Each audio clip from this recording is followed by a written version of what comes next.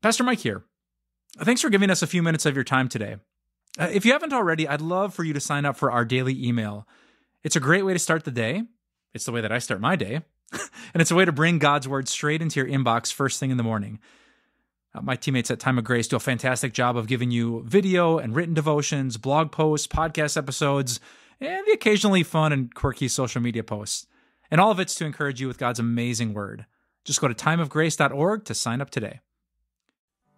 In the first video, we talked about why we say that betrayal feels like being stabbed in the back. But if you think about it, it kind of feels more like being stabbed in the heart. And so, how do you yourself heal internally if you've been betrayed by a friend? That's kind of a challenging question. Because when you think of healing from all of the pain and it feels like you've been stabbed in the heart, all you can really think of is maybe think of the things that this lady in my church thought of. She had a long laundry list of all of the events that led up to this betrayal. Everything that had happened that had brought her and her friend closer and closer and closer. And then this crazy twist of events through which her friend stabbed her in the back. And she even had a lot to share about everything that has followed. And, and maybe you can relate when you think about healing internally, it's really easy to come up with a list, and the list starts with sentences like, they did this and, and they did that. And again, as we said, that's, that's not okay. The pain that they've caused. But what if I told you that making a list of all of the things that they've done, keeping track of every way that you can point at them for fault, what if I said that that's not the most helpful thing at all, especially in comparison to identifying specifically what is causing you so much pain inside. Think of it this way each of us have probably had a cut on our hand before. When that happens to me or any of my family members, I tell my kids to go and get what we call the magic potion, that ointment that you get and when we get that, we don't pour all of that or squeeze it out of the tube into a bucket and then dunk the whole hand into the bucket so that it's sopping wet with this ointment dripping down to our elbow. Besides that being a really weird thought, it, that's not really helpful. No, you apply it specifically to the place where the cut is, the place that is causing pain. And if we do that when it comes to a cut on our hand, why would it be any different for the proverbial knife in our back. So, what is it specifically? Trying as hard as you can, can you do something for me by making a list? A list that doesn't start with sentences like they did this and they did that, but it hurts me here. And it hurts because of this. For the lady in my church, it hurt because she thought she had been so careful. So she feels a sense of guilt. Why would she open herself up when she knew better? Maybe you can relate. You, doubt yourself and wonder if you can be safe again. And that sense of insecurity is painful. Maybe write that down. Maybe you can add to the list the feeling of regret that you can no longer go and talk to the person that you would normally talk to when you feel this pain, maybe precisely because the person you would normally go to is the friend who caused this pain to begin with. Regret, that, that's painful. It sometimes even can be described as grief.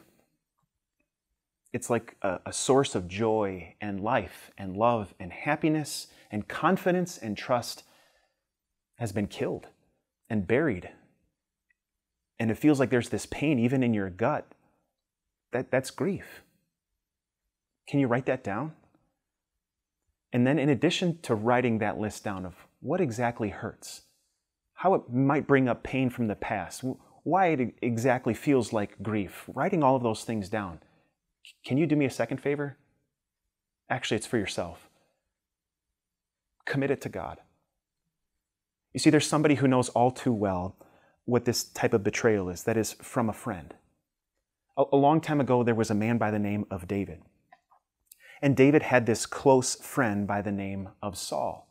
Saul was king and David was going to be the next king, but there was never this rivalry that existed inside of David's head, but it crept in inside of Saul's head. Saul had promised he would never turn on David until, until he did.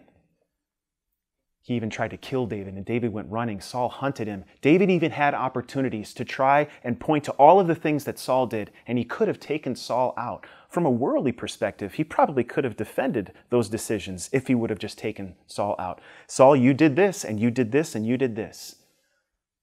But for somebody who understood very well what betrayal was, consider the things that David did in those scenarios. Two scenarios where he could have taken Saul out, he committed it to the Lord.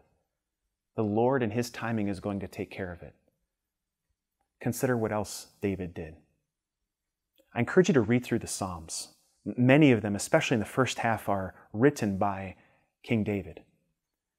He doesn't say things in always a pretty way, and sometimes he says things that might shock you, but these songs, these prayers are not meant to be pretty. They're meant to be real, and yes, they are even raw. But consider these words from somebody who understands betrayal all too well. From Psalm 37 Commit your way to the Lord, trust in Him, and He will do this. He will make your righteousness shine like the dawn, the justice of your cause like the noonday sun. Be still before the Lord and wait patiently for Him. Do not fret when others succeed in their ways, when they carry out their wicked schemes. Refrain from anger and turn from wrath. Do not fret, it leads only to evil. For those evil who are evil will be cut off, but those who hope in the Lord will prosper. You hear that? Commit your way to the Lord. God's promise to you is not to predominantly work to create a visible evidence of Him carrying out justice on that other person so long as we point at them. No. Identifying the pain inside enables you to commit all of that to the Lord who promises to help you and yes, even to heal you. He will do this. So, of all the things that we can think of that they've done, and as real and as raw as that pain is, bring those specific prayers, those specific and individual pains, the source of struggle from the betrayal of that friend, bring all of those to the Lord. It not only enables you to refrain from anger just against them, it enables you to open up your heart to God who promises you, and He always follows through, who promises you to help you, to bring you peace, to take care of the pain that they have caused in His own way and in His own timing. He will most certainly do this.